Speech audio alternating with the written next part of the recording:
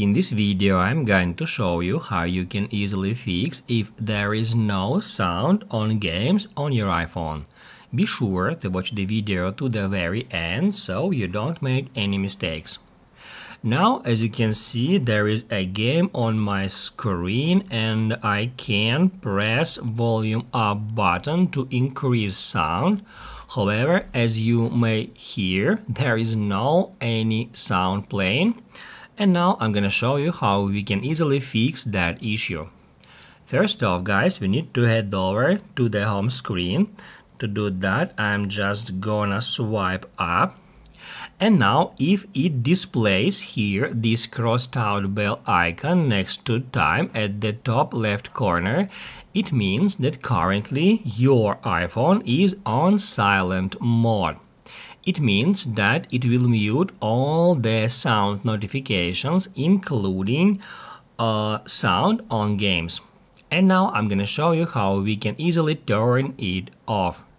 Basically, there are three different ways how we can do so, and the first and the easiest way is to use uh, that button on an iPhone 15. It is called Action button, and we can just uh, hold down this button to turn on or off silent mode.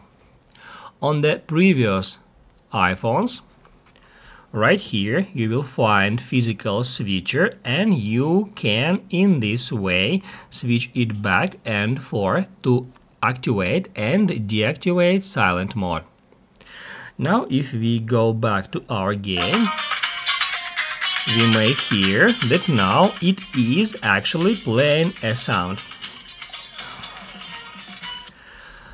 And now guys, I'm gonna show you two extra ways how we can also activate or deactivate silent mode. Maybe that button is broken on your device. So the second way how we can do so is just swipe down from the top right corner of the screen. This uh, moves us to the control center where we can easily find this bell and then in that way, we can easily activate and then deactivate silent mode. And one more way how we can do so is uh, by opening up settings. On settings, we need to get into sounds and haptics. That's where at the very top we can easily find silent mode and also by toggling it on or off we can activate and deactivate it. Basically guys, that's it. So if this video was helpful for you, don't forget to hit the like button.